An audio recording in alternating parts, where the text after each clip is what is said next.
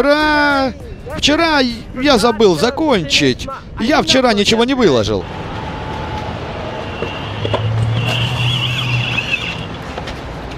Видите ли, в субботу...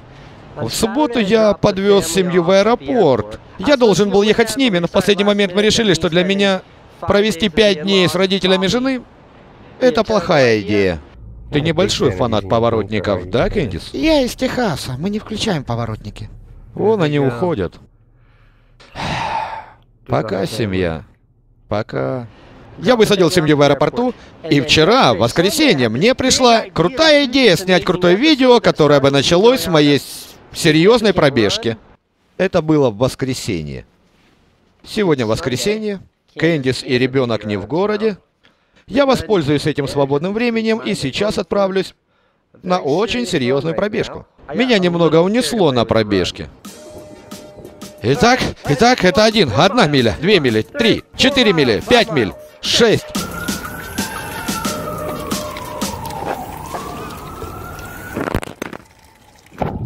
Это семь миль. Но это был первый реально теплый, весенний, даже летний денек в году. Я, про... я просто бежал и бежал. Это 8. Это 9. 10. 11 миль. Завязывая шнурки. 12 миль. Итак, 14 миля. Повстречал этих ребят и этого парня. Ладно. Я бежал прям как Форест Гамп. 15, 16 миль, 17, 18, 19 и это 20. Ну что ж, я думаю, все. Это было ровно 21 миля. Отличная воскресная пробежка.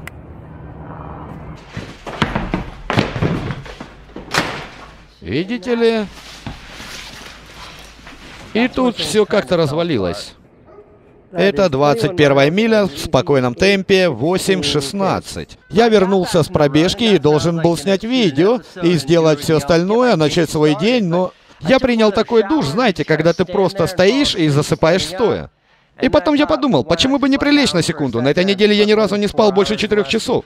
Вырубился. Был все еще день, вырубился. И э, я просто спал. Да, примерно до 6.15 этого утра. И поэтому, поэтому я пропустил вчерашний выпуск, а не потому, что проводил время с семьей, как говорил, а из-за того, что я отправился на безответственно длинную пробежку, потом вырубился и проспал часов 14. Как будто медведь-гризли в спячке, и теперь... Вот он я, сегодня понедельник. Ладно, Марлин, покажи мне эту шляпу, давай посмотрим. Посмотри, зацени как. У-у-у. Думаешь, она нормально смотрится, Кейси? Я думаю, ты должен носить ее каждый день. Блин, я просто красавчик, еще можно наклонить вот так, типа. Вау, теперь ты выглядишь как босс. Рад повидаться, Марлин. Большое спасибо. Отличная шляпа, Марлин. Отличная шляпа. Может, я просто старею? Знаете, люди в комментариях мне все напоминают о том, сколько мне лет. Вот в чем дело с возрастом. Когда люди над тобой смеются и говорят, что ты тупой, ты можешь сказать «нет, я умный». Или когда люди называют тебя страшным, ты можешь сказать «не, а мама говорит, что я красавчик». Но когда люди говорят, что ты старый, старый, это объективно, старый это число, которое не спрятать. Я старый. Мне 36! Похоже, это значит, что после солидной воскресной пробежки я просто не могу пойти и сделать влог, потому что надо поспать 14 часов.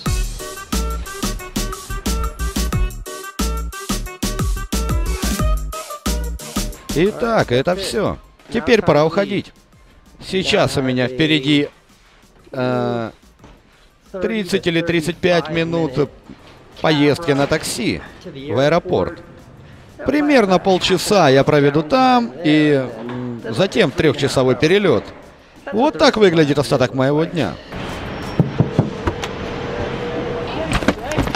Как вы думаете, сэр, сколько мы будем ехать до Лагвардии? Примерно 30 минут. 30 минут? С остановкой на заправке примерно 35. Как думаете, мы доедем без дозаправки? Э, у меня осталось на 14 миль. Ну это прям на грани, прямо на грани. на грани. Не знаю, как я выйду из аэропорта.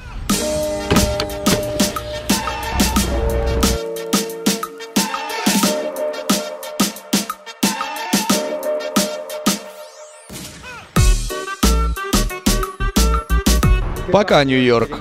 Я буду скучать.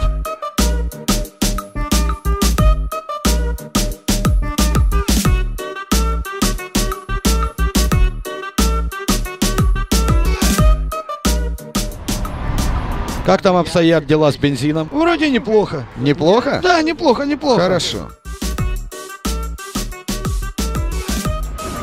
Ладно, спасибо. И я снова в аэропорту. Спасибо, удачно вам подзаправиться.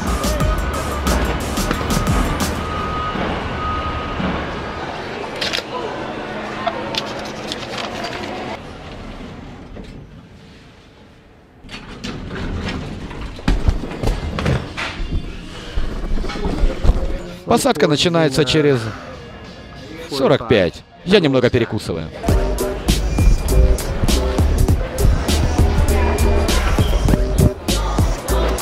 Еда была неплохой. Не то чтобы прям вкусно, но неплохо.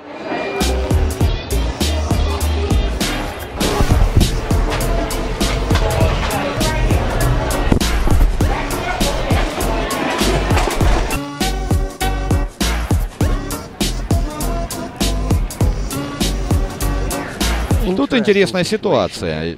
Я уверен, вы видели в новостях.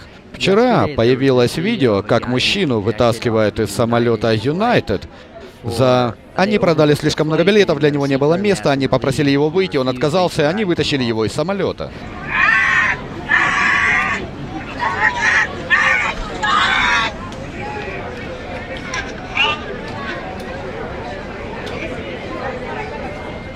Каждый раз, когда что-то такое происходит, я спрашиваю себя, что бы я делал в такой ситуации? Особенно сегодня, когда я реально лечу на, на рейсе United. Пожелайте мне удачи.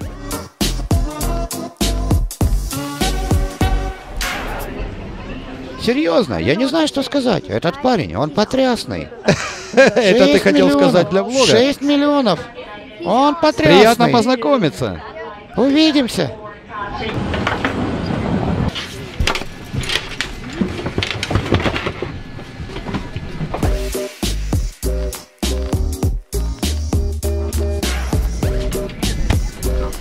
Пока все нормально. Я думаю, мы доберемся до Хьюстона без проблем.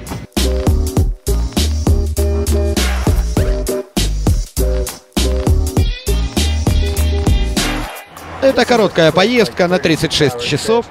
Оуэн и Франсин и Кэндис, они уже там, так что я просто встречусь с ними. Определенно, в...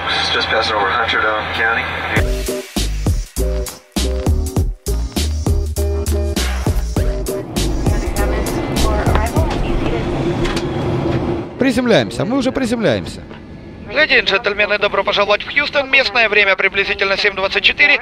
Посадка произойдет через несколько минут, а пока, пожалуйста, оставайтесь на своих местах. Окей, спасибо, пока. Вы Знаете, я должен сказать, стюардессы и экипаж самолета были очень учтивы. Но я прочитал примерно 20 свидетельств о происшедшем вчера в самолете, когда они вышвырнули парня. Я не думаю, что смогу летать на Юнайтед, пока они не разберутся с этой ситуацией. Кейси Нейстат. Я только что говорил, что собираюсь бойкотировать Юнайтед после Не случившегося. надо бойкотировать, не надо бойкотировать. Это безумие! Такое случается, понимаешь? Это я случается. все об этом прочитал. Но я рад знакомству. Я рад. Ты должен управлять компанией. Да, Хорошие так. люди вроде тебя. Хорошего дня. Удачи.